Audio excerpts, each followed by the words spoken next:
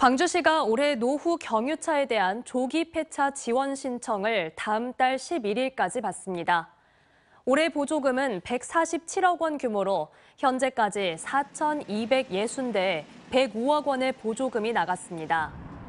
광주시는 자녀 예산이 곧 소진될 것으로 보인다며 최근 6개월 이상 광주에 등록돼 지원 조건을 만족하는 4등급에서 5등급 노후 경유 차량과 건설 기계 소유자들의 조속한 신청을 당부했습니다.